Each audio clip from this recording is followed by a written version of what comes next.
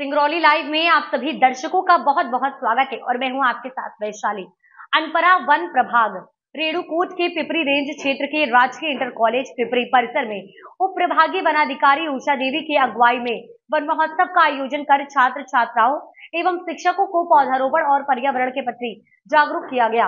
इस अवसर पर 80 पौधों का रोपण कॉलेज प्रांगण में किया गया। प्रधानाचार्य अनिल ग्राम एवं रेंजर पिपरी राघवेंद्र कुमार ने पौधारोपण के महत्व पर प्रकाश डाला।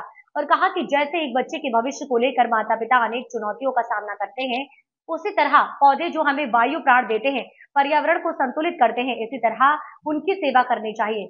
उन्होंने छात्रों को आह्वान किया कि वे घर में परिवार के सदस्यों और माता पिता को भी पौधारोपण और उसकी देखरेख के बारे में बताएँ। कार्यक्रम का संचालन अशोक कुमार त्रिपाठी ने किया। इस अवसर पर वन विभाग एवं विद्यालय के शिक्षक, शिक्षकों समेत भारी संख्या में क्षेत्र के गणमान्य लोगों की उल्लेखनीय उपस्थिति रही। सिंगरौली से गणेश सिंह विशाल की रिपोर्ट।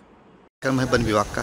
आज जीआईसी में हम लोग सभी एकत्रित हुए हैं। हमारा स्टाफ रेंजर अधिकारी हमारे प्रधानाचार्य और बच्चे उन सभी ने मिलकर के यहाँ पे 80 पौधे लगाए हैं।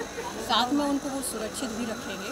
इसके लिए हम इनको 25 आरसीसी गार्ड प्रोवाइड कराएँगे जिससे कि देश दुनिया के अन्य खबरों के लिए सिंगरौली लाइव को यूट्यूब पर सब्सक्राइब करें साथ ही फेसबुक पर फॉलो करें।